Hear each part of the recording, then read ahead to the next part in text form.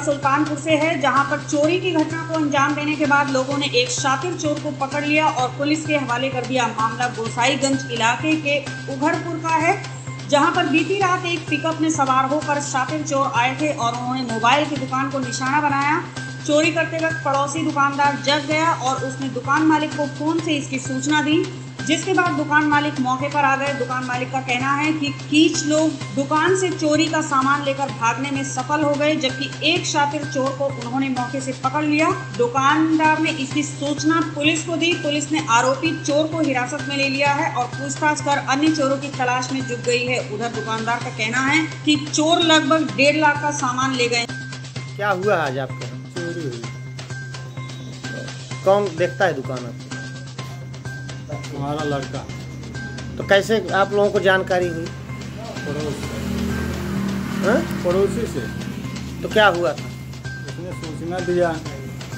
तो उधर से सब लोग आए पीछे से भागे और जाके दो भाग गए ये तो पकड़ लिया।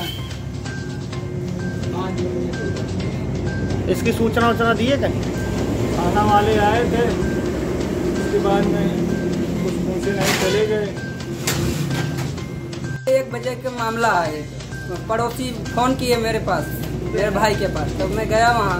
हम लोग आए, पता लगा ट्रेन टूट चुकी थी अंदर चोरी हो रही लगभग छः सात लोग आए, पीछे से जब घेर लिए तो आगे से वो लोग गायब हो गए।